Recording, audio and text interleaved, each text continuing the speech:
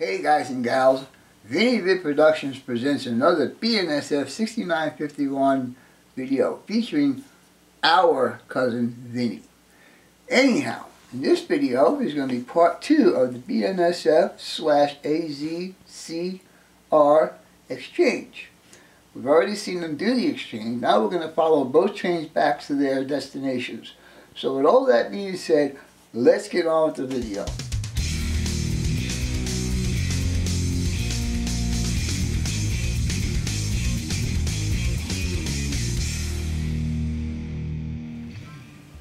Alright guys, after the uh, exchange has been done, we follow our AZCR back to uh, Matthie. and doing so, we're going to pass through Old Town Wickenburg. And we will follow this train all the way back to Matthie.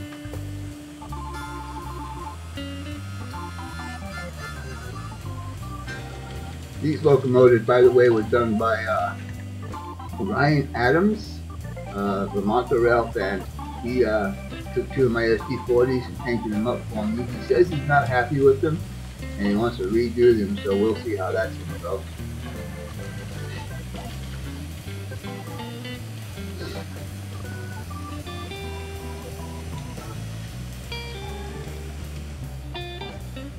Alright guys, here we are entering Matthie and this will be either a crew change or this train will continue on out to Parker, Arizona.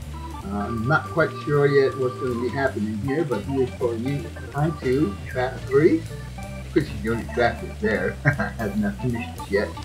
Uh, I need to add two more, two more tracks. Anyhow, uh, now that this train is safe here, we'll go ahead and follow the uh, ATSF. And this is the train that you guys saw um, with the meet with the lumber train. So we're going to go ahead and follow him back down to uh, Phoenix. Right now we're exiting Castle Hot Springs and we will be crossing the Agua Fria Dry River Bridge.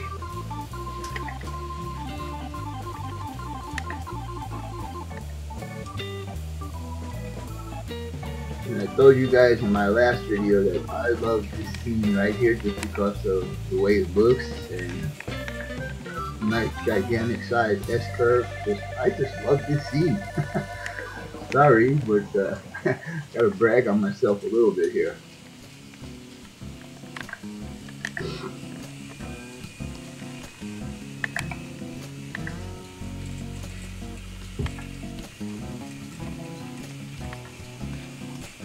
Look at that scene, guys. This is another awesome scene?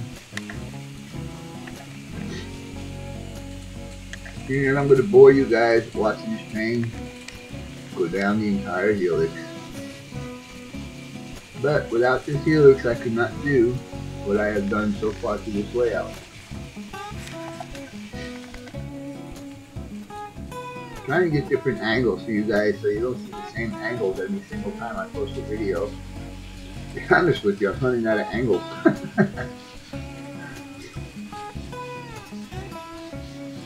but we'll just watch this train mosey on down helix.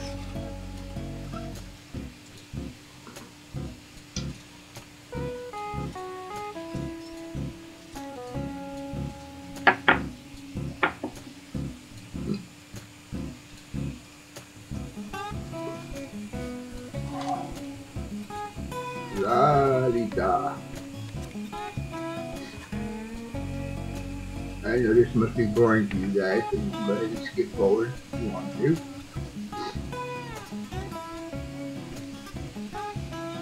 But, like I mentioned in my other video, um, this helix has been rebuilt three times, and third time is charm, is what they say, uh, and I have absolutely no problems with my helix knock on wood. it just knock on wood, guys. but anyhow, excuse me.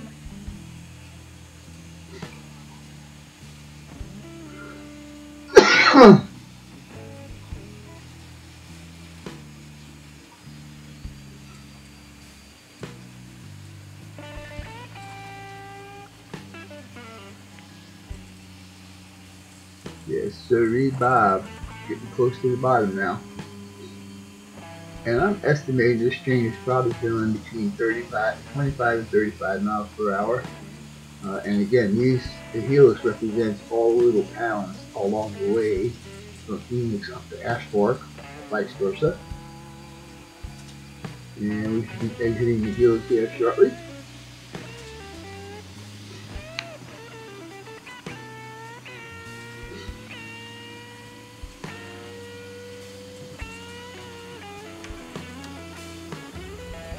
I tell you, these two Atlas uh, locomotives, they run great.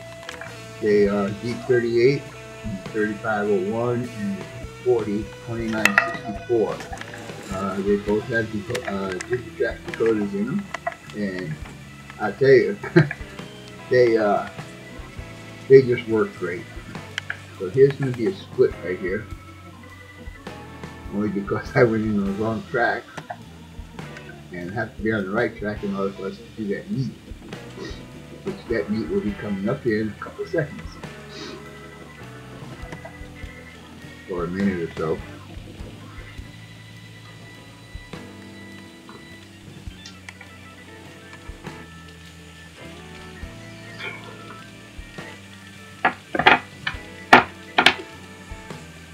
This is North Phoenix.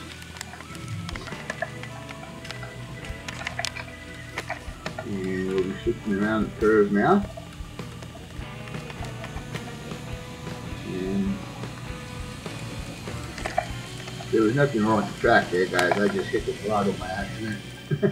and guess what's going to happen here? Yes, sir. This is the scene that was in my, one of my last videos. Oh, look at that. so now you know how the guy, how this train got his load with the exchange with the Arizona California Railroad.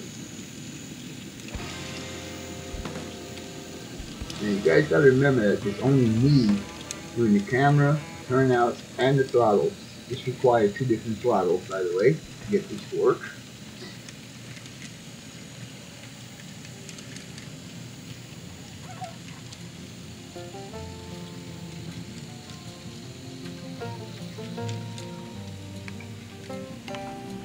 Oh, look at that. What a perfect thing.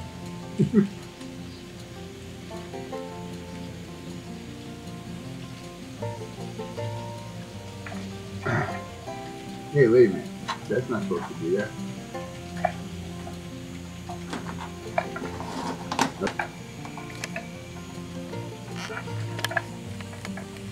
Sorry, I had to take a clip out. I don't know how I did that, but have two clips it's supposed to be. Now we're passing uh, what would be 35th Avenue and uh, and Route 6 and Route 60 or Grand Avenue as it's called, as we know it. And shortly we'll be going to the second room, or room number one actually. And here we are on to route number one, and we're going to take the back door into Mobest Yard. It really wasn't planning for this to happen. I wanted to go straight in, but oh well. It's the same thing. We'll be, we'll be arriving on the same track. It's one of two that I'm going to keep as a uh, go-through yard tracks. The others are going to be shortened out to stub-end tracks.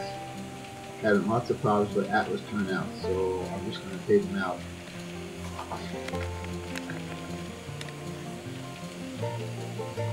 A helicopter shot. I should put a helicopter sound effect in there, huh?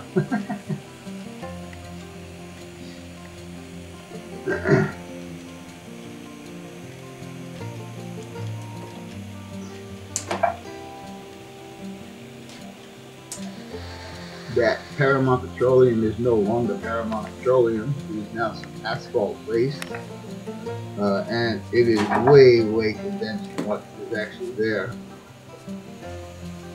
And for you guys that don't know, is my depot does not even belong in this part of the layout. It belongs somewhere else, but I don't have all the room that I need to do it, so I put it where I had the room for it. And as you can see right now, we're going past the SMRG or SRMG, Salt River Mining uh, Group. Um, they will be both cement. We watch our train pull into arrival track number two. I hope you guys and gals enjoyed this video. And as always, your questions, comments, inputs, subs, shares, and likes are always welcome. For now, that's all folks. BNSF 6951 out. AKA Cousin Vinny. Talk to you guys later. Bye for now.